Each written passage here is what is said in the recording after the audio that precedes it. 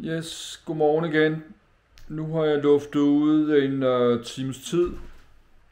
Nu vil jeg lukke øh, døre og vinduer. Jeg er gået i gang med det der City Skyline spil igen. Min bullerby på dansk. Jeg har ikke noget, jeg har ikke noget at lave i dag, og har ikke rigtig nogen penge tilbage, så det er også koldt og vinter. Jeg ved ikke, hvad jeg skal lave. Så havde jeg nogle flere penge. Så havde jeg nogle flere penge, så kunne jeg jo godt finde på noget mere at lave. Jo. Så jeg kan ikke lave noget, og der koster penge.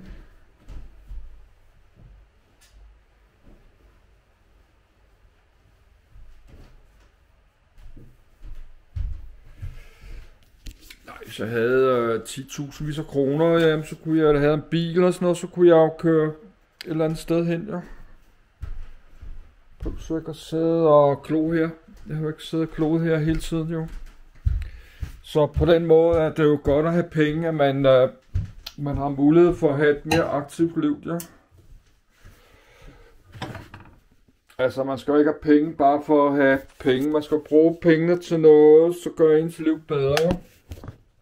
Altså, man skal jo ikke have penge bare for at have dem i aktier eller i... Uh,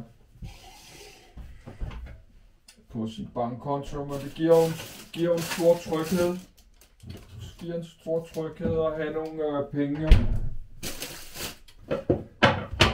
Altså for mig at have lidt penge, det er få tusind kroner, men for andre mennesker er det nok 10.000 ligesom kroner eller flere hundrede tusind jo.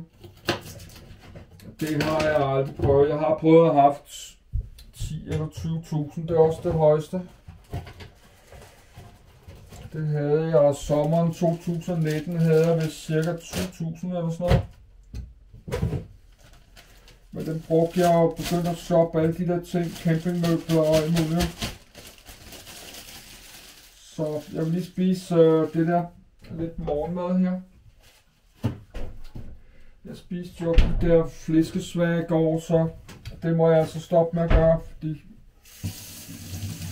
det skal være sådan nogle mini poser, ikke købt sådan 100, der er 35% fedt i. Det skal være sådan bitte små poser. Og kun en gang om måneden, eller hver anden måned, eller sådan noget.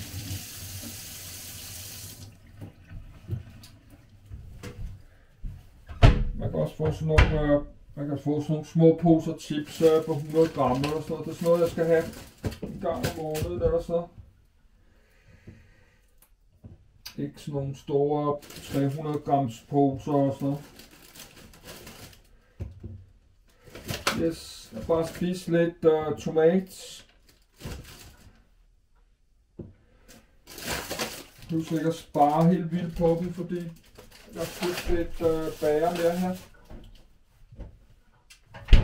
Men jeg spiser så bare det her tomathalløj og så den her ostebolle i eftermiddag. Og så kan jeg jo spise uh, et par tomater i aften som snack.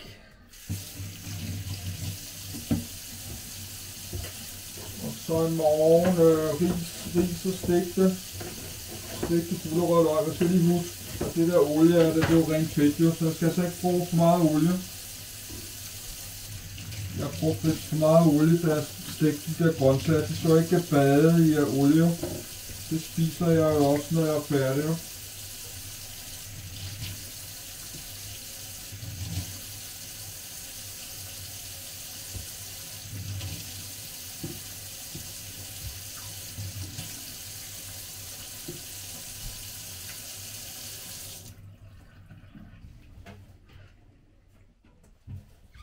Men på den anden side øh, er der nok ikke så mange øh, kalorier af de der gulerødder og løg. Men det der fedt, det der olie man steger, det er jo 100% fedt, jo, så det er næsten før. Og bare putte spise ris med øh, brun sovs, det er nærmest mindre. Der er sådan noget brun sovs her, har kun øh, 6% fedt. Ja, men der er så også 100, øh, 100 kalorier per 100 gram sovs. Men der er så kun 6% fedt i. Jeg tror, der er mindre end 100 kalorier i tomater. Det ved jeg ikke, om det hovedet står på agurken. Det tror jeg ikke, det står. hvor mange kalorier der er i 100 gram agurk. Det står der ikke på tomater og sådan noget.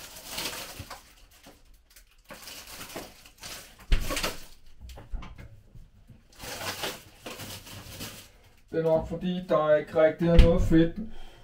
Der er ikke rigtig noget fedt og kalorier i uh, tomater og gurk, jo.